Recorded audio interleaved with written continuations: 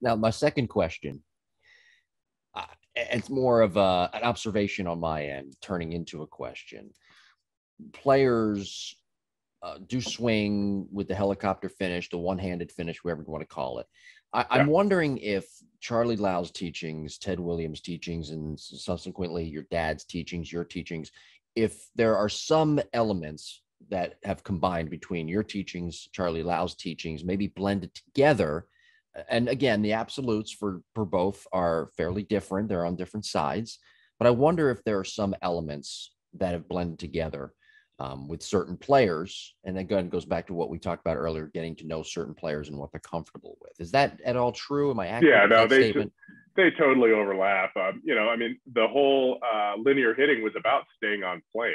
So linear right. hitting wasn't about swinging down. It was about keeping your barrel in the zone as long as you can. Well, the only way to do that is to transfer your weight all the way to your front foot. Mm-hmm. Okay, so you don't rotate nearly as fast in, at all, right? Because mm-hmm. you're drifting the whole way, but it was to keep your barrel moving on that, you know, that path. So those overlap. But I actually got a call from uh, Charley Lau Jr., um, who has recently, or not recently passed, but he, he passed away years ago. Um, and, we were talking, you know, hitting, you know, about you know what we taught and what he taught. We were telling, we were saying the same thing. Right. Like for his, he was like, yeah, I want players to stride you know, so they have a weight shift. I said, I want my players to stride so they have a weight shift. Yeah. And he said, and then they have to block that front side and stop, you know, their weight shift and rotate. And I was like, well, that's not what is in your dad's book at all. yeah. And he's like, well, that's what we teach. And mm-hmm. so I said, okay. So the only thing we were hung up on, um, he, he said, you have to have a one handed finish.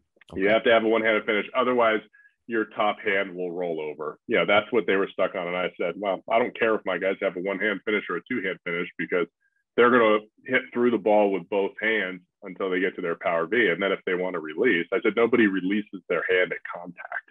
Right. Um, but if you look at that old book, that that's what they're they're saying. So yes, I mean hitting became hitting, and you know after that conversation it was really funny because I'm like, hitting's hitting, you know, there, there, there are certain things everybody we want to have a weight shift and then we want to stop the weight shift and we want to rotate.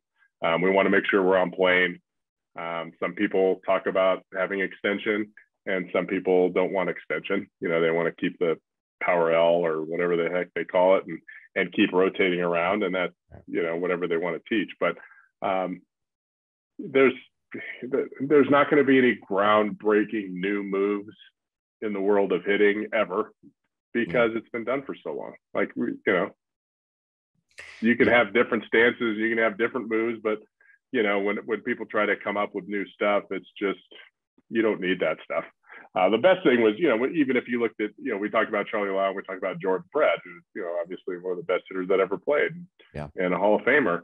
And if you look at the pictures in, in the book of George Brett, you're like, oh my God, those are the ugliest positions I've ever seen, you know? And then you look at his swing in real life and you're like, that's one of the prettiest swings I've ever seen. But maybe if George Brett didn't think about what Walt Hriniak was telling him about getting on his front foot and, you know, whatever, you know, it's one hand and loading up and all that stuff, maybe he wouldn't have done that. So it's the whole what works for you as a player that's the key to, to baseball being knowledgeable and, and, understanding okay why do i do this and why do i do that? And what is this result? I don't i don't really care what you're doing. Here's your result.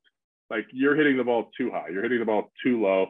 You're hitting it too much to the opposite field. You know whatever it is but that's the end result. So what do, what can we do to to make that better? You know to expand your uh, your width of, of hitting you know so you're not unidimensional and I, I think that's what makes good coaches is you know not overcomplicating the system but finding the right result that works. Well your conversation with charley lau jr and you guys talking about hitting and and your ideas overlapping there's a prime example right there of two baseball guys who've spent their entire lives around this game, make a living from this game, who have different ideas about things, but they're able to communicate in a non-toxic way, unlike what we see in today's baseball yeah. world on social media and and coaches. And this is what makes I think the game really fun for people who work in it when it comes to scouts and baseball operations people. You can have a diverse set of ideas um, and you could talk about those ideas without being toxic and that's exactly what you and charley were able to do when you came from two what were was at the time from your father's Absolutely. completely different hitting backgrounds like uh, totally opposite opposite ends of the cycle like you know liberals and conservatives you know in terms of right. hitting yeah. like we were able to have that conversation and and uh, be totally civil at the end of the conversation you know uh, say, you know what, I, I see what you're talking about. And he would say, I see what you're talking about. And okay.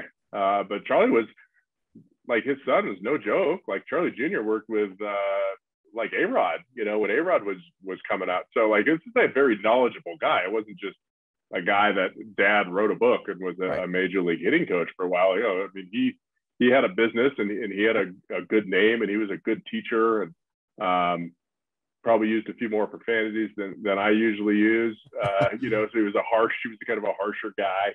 Yeah. But uh, yeah, and I wish it would, I wish the game would be a little bit more like that. But you know what? When you hide behind a computer and, and you're on social media, it's just a toxic environment when it comes to um, hitting right now. Yeah. You know, unfortunately, it, it's uh, it's turned into that. So you know, it put out become, your information yeah. and see what works. It may become more toxic after the Lightning beat the Avalanche. Hey, uh, don't forget to email the show, Jimbo Podcast 21 at gmail.com.